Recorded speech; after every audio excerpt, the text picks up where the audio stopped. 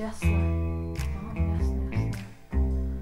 Dobre, postaram sa o to.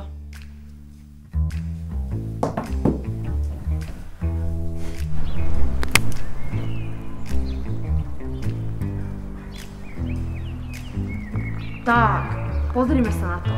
Presne ako mi to popisovali. Hromady odpadu. Á, čo je toto? Sklenica? Mm, na čo ju mohli používať? Zaváranie tiel, či relaxáciu?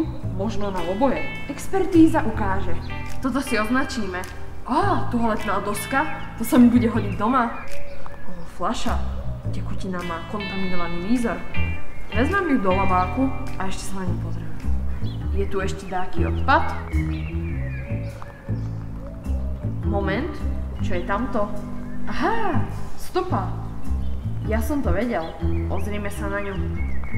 Čerstvé. Vyzerá to, že páchateľ mal na raňajky šutelicu. To v tele moc dlho neudrží. Nemôže byť ďaleko.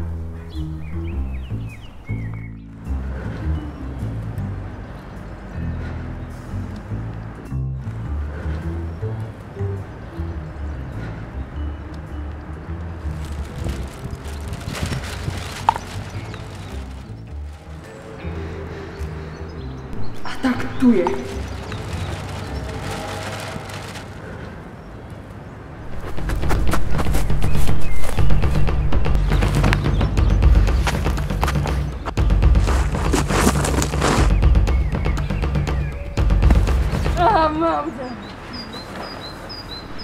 Mikroskládky sú veľkým problémom dnešnej doby a pritom sa im nevenuje príslušná pozornosť. Je pravdepodobné, že sa v nich nachádza viacej odpadu ako v legálnych skládkach na Slovensku.